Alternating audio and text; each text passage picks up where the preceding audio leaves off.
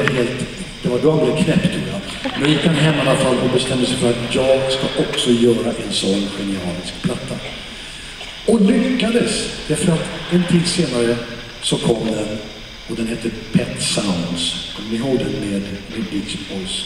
Ja, med God Only Knows och alla 16 maj 66 kom Det var det. Var, det, det var knytnävsslag. Det var så jävla bra. Man satt och spelade där om och om igen. Om- så kunde man sitta och hålla omslaget i handen. Absolut. Det kunde man då på den tiden. Ja, Titta mest på bilderna. Men eh, Men alltså, han bestämde sig helt enkelt för att, för att göra något genialiskt. Han blev geni. Han bestämde det. är Så enkelt är det.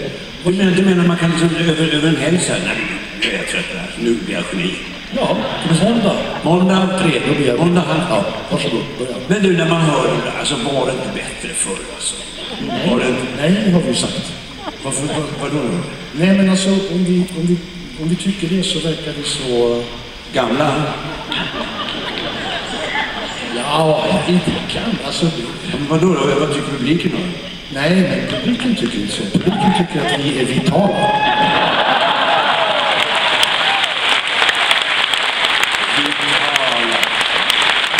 Vitala, det låter som en av mina vitaminpiller som jag tar sex. 16 stycken varje morgon Vitala. Två. Nej men du, alltså tänk att... Alltså, vital, det är man... Ja, men man är väl kanske vital om man är i vår ålder och kan knyta skorna själv. Annars är det man går ner och knyter skorna och reser sig hastigt upp så... Det är samma effekt. Tänk om jag hade vetat det. Att det är samma effekt som att röka de där franska cigaretterna.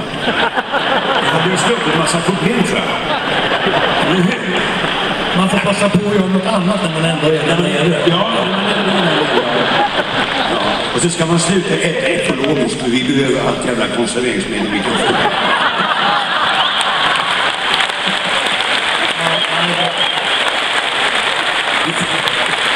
Det tråkiga tycker jag är det att nu ska man inte dricka mjölk heller. Det är inte så länge sedan det här Emma, fotomodellen, hoppade omkring i tidningarna och sa drick mjölk så Ja. ut som jag. Det är- det Det är- livsfarligt att dricka mjölk. Ja, man kan bli som korna. Så det, det är liksom det bästa sättet att ta livet av sig är att leva tror jag. Du, vi slutar prata om det här med ålder. Ja, alltså, alltså, ålder, ålder är bara en siffra. Ja, och fängelse bara ett rum.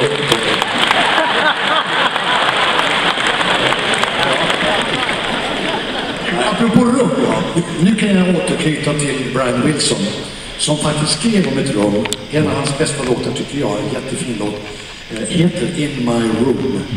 Och den handlar om eh, det här rummet som du har inom dig kan man säga. Du, det är inte ett fysiskt kroppsligt rum utan det är, det är ett andligt rum dit du kan dra dig tillbaka själv och där, där ingen stör dig på något sätt. In my room.